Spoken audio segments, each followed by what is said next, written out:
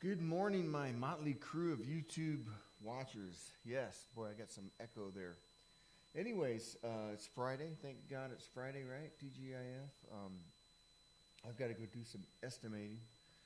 Got to go estimate out in a place called Cool. Right? Oh, cool. So, anyways, um, I also got to go pick up a hydraulic piece for my my auger for my excavator. But I uh, did my 250 hour maintenance on my machine, my Case CX37C, and it was quite the ordeal having not uh, tackled that particular machine. I've done other equipment, but uh, this was my first uh, excavator, and everything's all crammed into one little spot, and um, so it was quite interesting. But man, I did the worst video ever. I mean, even right now, look at me. I'm in my my bathrobe. It's uh, early in the morning. People people say, well, "How can you answer and respond to all these uh, comments?" And well, you know, it doesn't take long. But um, and I'm busy. You know, well, not really a lot. I, I work probably what one or one, uh, two, three days every two or three weeks. Um, because of the pandemic. I'm slowed down, but uh, starting to pick up because it's springtime. So, um, anyway, uh, so I, I, started this video, and uh, the first scene is, is going to be have my wife in there, you know, to, to kind of spice things up with some pie that she made, and then there's this real pretty bird, and then it goes to hell in a handbasket. So, anyway, sorry about that, guys, but I put I did I wanted to I didn't have to um, publish this video, but you know, um, there's not much stuff on a CX37, and I've already done the, the shots. I'm I'm holding the camera, and I'm like talking about a part, and you can't even see the damn thing. So, you know, you're going to be really upset if you have one of these machines and you needed to see that part. But on the other hand, on the other hand, um, uh, it's a very expensive uh, thing to do if you have to do it if you have to take it into the shop. And so this is something you can do yourself. So this kind of proves that you can do that. So again, I apologize for the um, debacle on this video, but it's gonna be it's gonna be long too. But whatever, you know, I'm just gonna publish it. Uh, somebody might see one thing they need in it because I do take the filters apart and all that kind of stuff, and uh, you can just kind of fast forward through a lot of it. all right, have a great day. What kind of pie did you make me? I made you a strawberry rhubarb pie with uh, a crumble top. And I'm out there working on my excavator. I know, you're working so hard. Do you think it'll be good? I mean, it looks delicious. the question is, we got to wait an hour to cut it open. That's going to be good. Okay. Okay, we got this beautiful bird here. Just uh, chirping away. Make it, oh, Roxy. You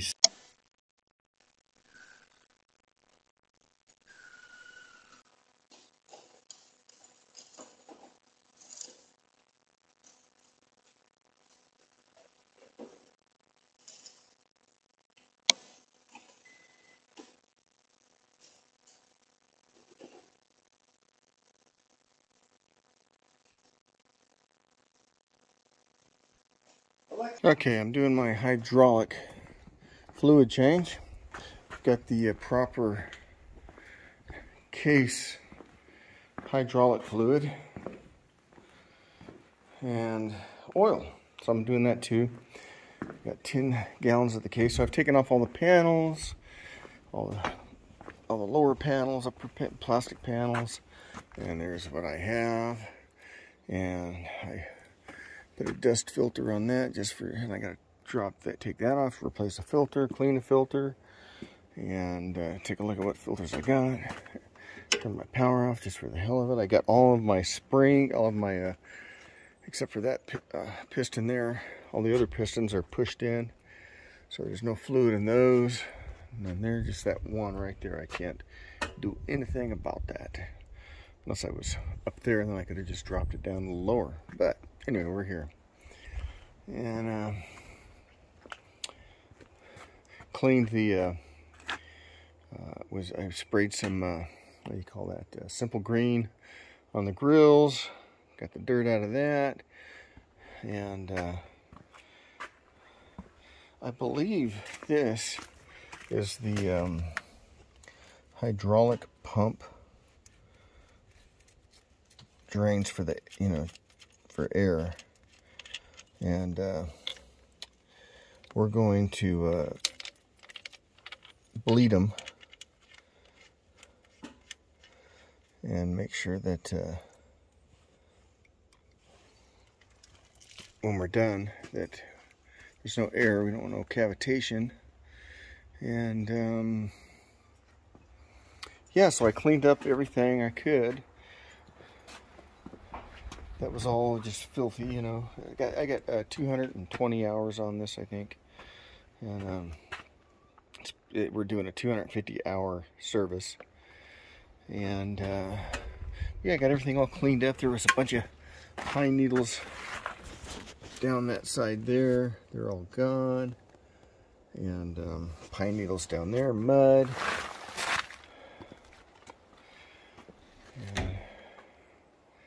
So anyways, I'm going to start removing this to change the filter. And then I got a suction filter here. I'm going to change that and I got some other filters I'm going to change oil filters and air filters and we'll just get with it drained 10 point something gallons of uh, hydraulic fluid out of my system and um, first uh, 220 hours or so and let that drip a little bit now I got to take that off so we'll get that going and I got to take that off change some filters You can hear that thing relax a little bit, but I got everything pushed in. So all that fluid's just slowly draining out. We'll give that some time, but I'm gonna go ahead and take these bolts off and hoses off and drain that hose a little more. Okay, so I popped uh, off that. Got something on that. Keep clean. You have to take this off to get one of the bolts off. Loosen it up, and then look what that produces, a spring. And I'm going to get another paper towel and uh, put that on a... Roll of paper towel? No, just bring me another paper towel if you don't mind. And, um, oh, look at all that dirt I left back there. Good God. I didn't see that. It was underneath something, I'm sure. I'll have to clean that up before I, when I clean it all back on.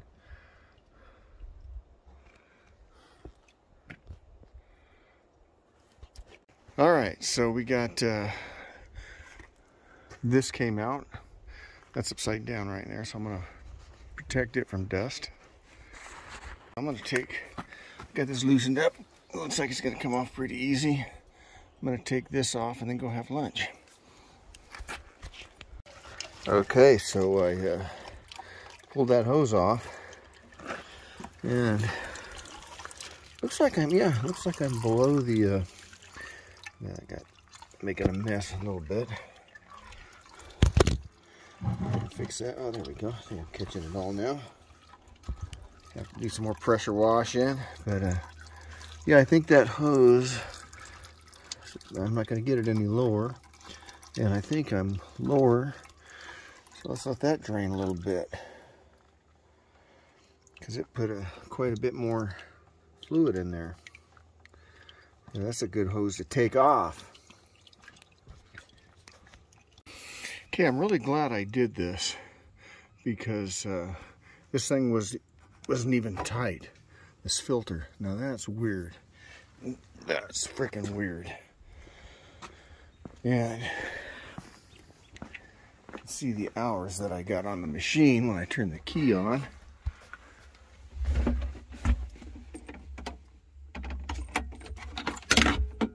I gotta turn the switch on here.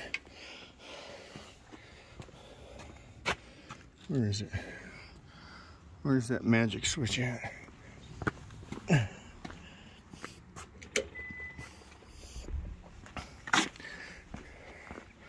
My battery's about to go dead here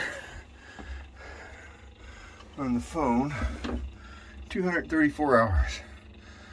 And that filter wasn't even put on right in the first place, or vibrated free, wasn't torqued right.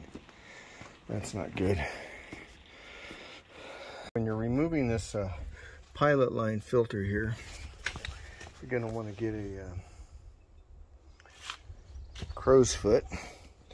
And it's a 15 16ths crow's foot. And mine happens to be an inch. I don't have a 15 16ths. So you gotta take little stabs on it. Get it in there.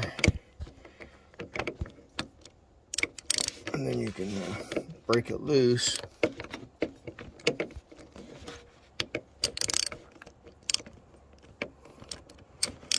Ratchet it back over and you can you can loosen it up, see?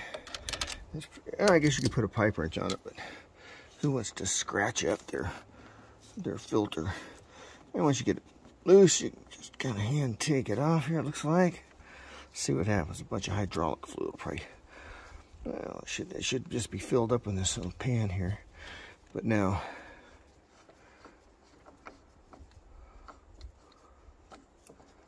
Oh, look at that. Oh, I was going to say it's hitting. Good God, it's hitting this. No way. Okay, I'm gonna have, I might have to undo this. Oh my God.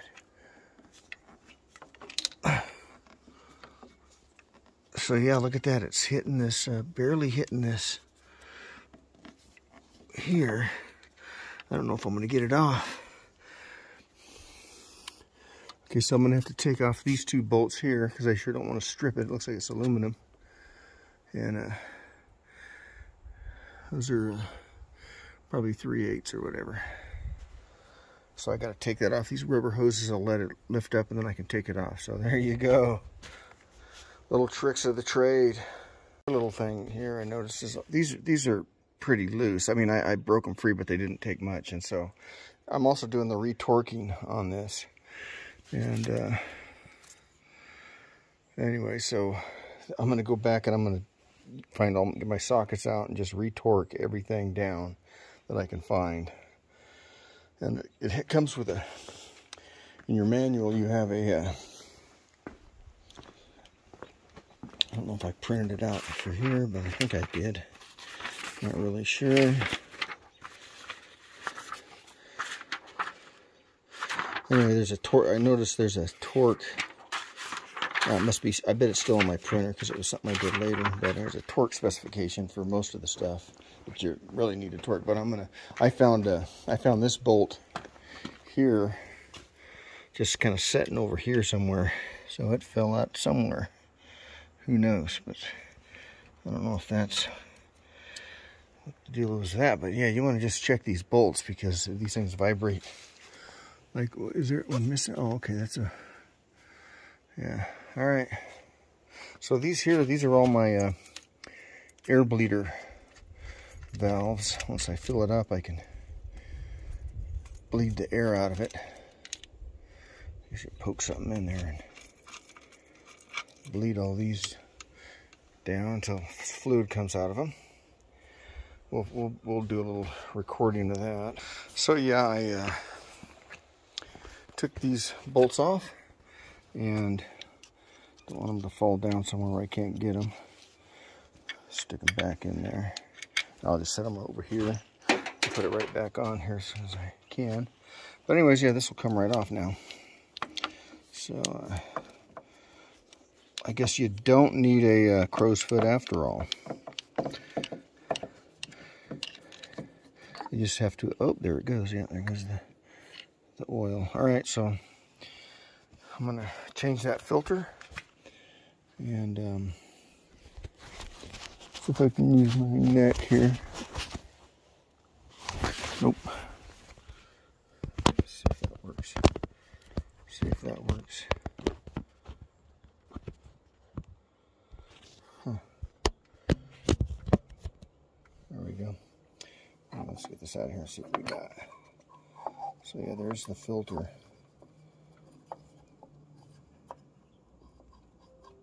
Just pulls right out. And there's all the greasy grease. All right. So we got this filter here. I'll drip it on my tarp. Take it over here, drip it on the, dump it into the, to the pile. Just toss that right there for right now looks uh yeah look at that see it's got some some little grits in there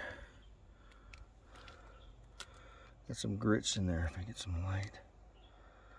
So, it's doing its job, but I found a bunch of that in the uh, suction filter. And uh, all that new factory shavings. So I'm going to go in there and clean that out. And then uh, put the new filter back in. It's a, uh, give you a little briefing on this. Where's it at? Where's the... There it is. Hydraulic filter, part number, there it is. 481 45976. Okay, I got the uh, new filter. I got this I got this cleaned out. And so the new filter comes with an O-ring. So we'll uh, replace that O-ring. And get rid of that.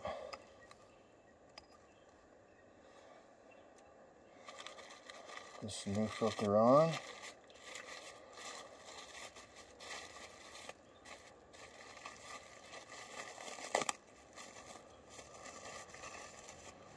there's the O-ring. Okay, so this filter here is going to go push it right up. Actually, yeah, I'm push it right up in there. Probably should put some uh, some grease on it. There's some right there. Okay. Some grease on it. There, it's tight. Um, get that new O-ring.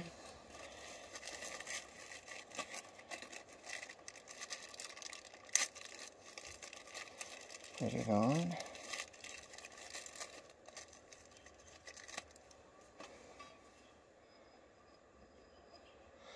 Okay, so there we go. I don't know if you're seeing this or not, but I am. Give me a call, you about it.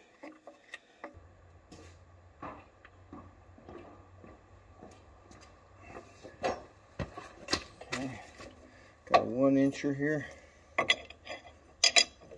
Yeah, it's pretty sloppy. It's definitely metric. So just give it a little. Yeah, see, it's it's it's just a hard so that that uh, that thing uh,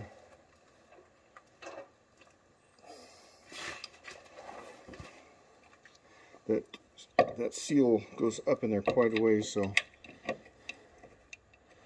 it was pretty nice and hard to move. Pretty sure that was it. That's what we're doing. Got that on. Got them hand threaded. And make sure I'm not going to strip it. What the hell is this? See, there's another one of those bolts just sitting there. Fell down from somewhere. Oh no, that's the that's the one I found earlier. Got to figure out where that is. I thought it was on the other side. 10 millimeters. Plug it, unplug in.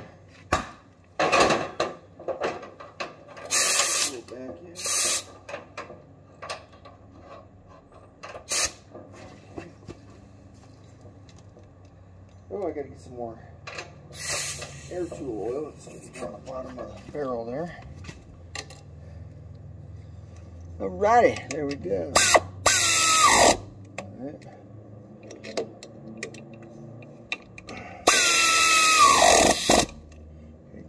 Ratchet pressure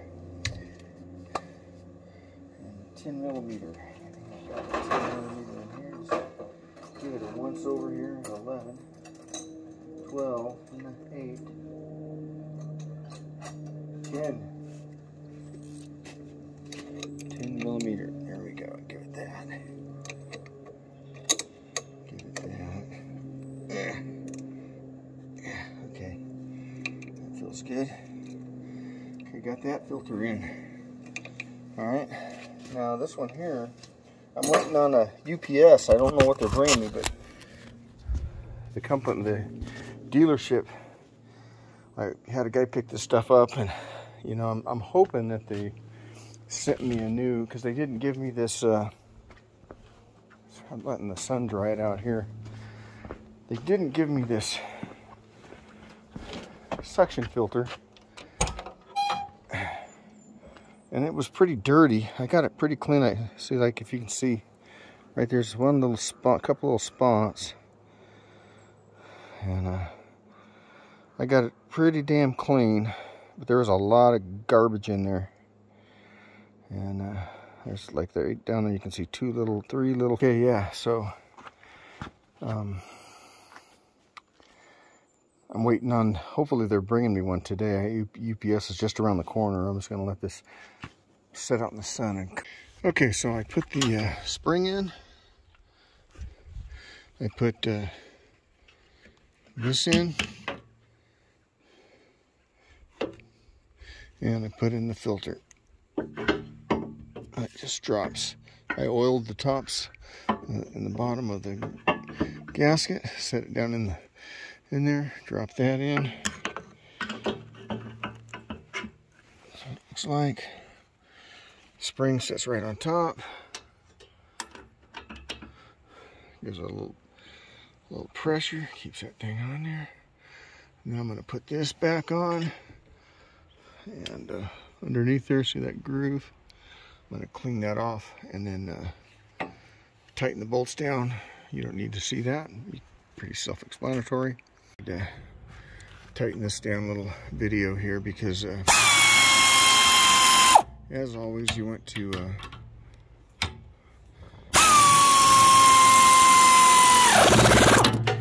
tighten tighten down opposing uh, tighten camera and it's hard to let go of that when you're opposing.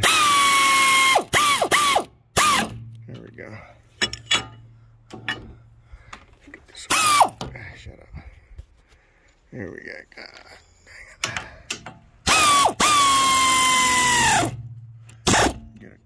wrench and finish that down. I gotta put that little piece in there. I might put that bolt. New day, new deal, right?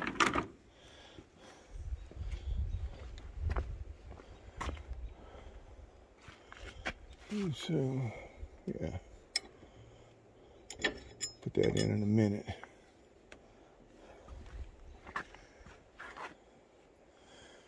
Actually, I think uh, I think they're the same damn bolts, though, right? Yeah. I'm gonna check. I'm gonna take one off. I think these are the ones that actually go in there. I'm pretty sure they are. They're probably the same bolts. I'll take one off we'll see.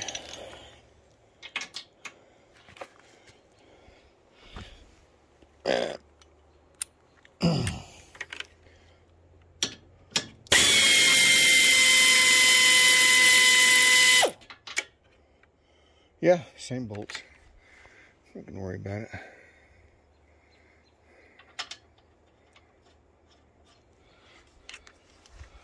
Same bolts.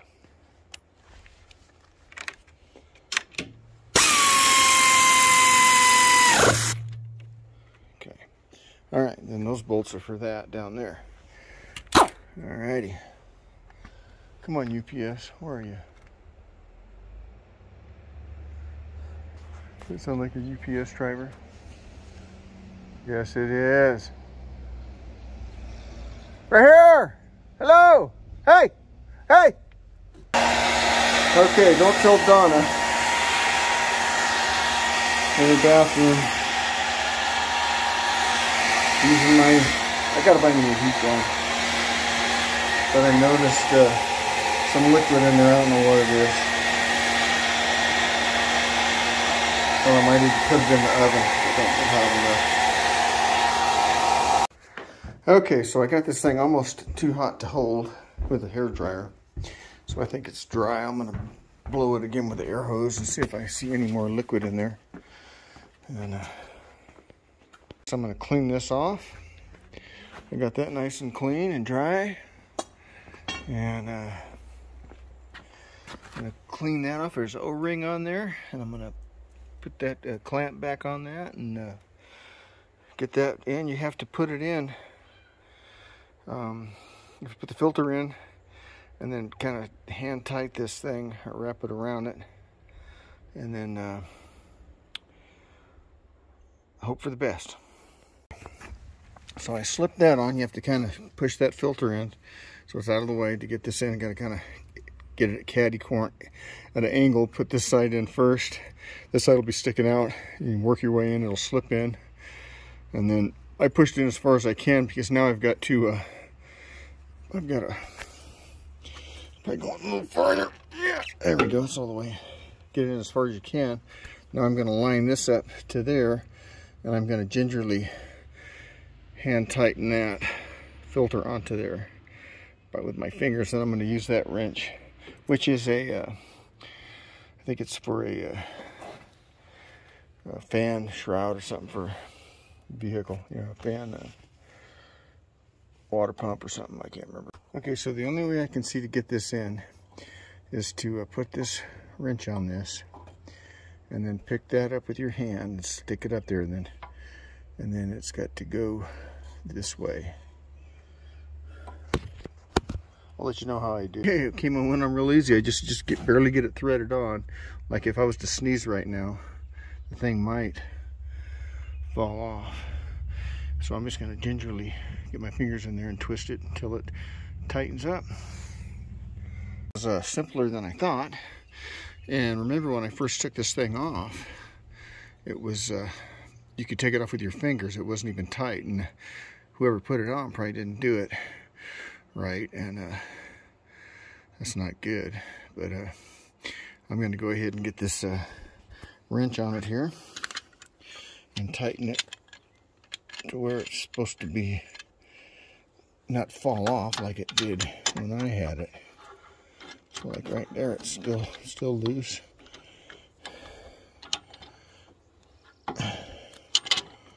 Mind you, I still have to tighten the, uh, the hose. if that'll go all the way in, and then I can... Yeah, see, I didn't think so. I have to let that hose out a little bit.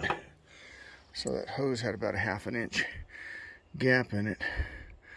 So what I'll do is I'll get that tight, and then I'll thread it, and then the threads will pull it where it goes. And then, because uh, this isn't tight, this is loose.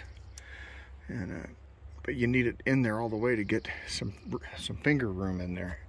So anyway, that's not too bad of a deal. CX37C. Uh, it's getting there. Threaded it tight, and you can see the uh, threads right there. Get it focused in a little better. So they're about a eighth inch from seated, so they're pretty tight now. Before it was just finger tight. I mean, it, it, it just wasn't even tight. And I think there might have been like a, I've got, I think I have a video of it. I'm not sure, but we'll, I'm going to check it later. Okay, I got one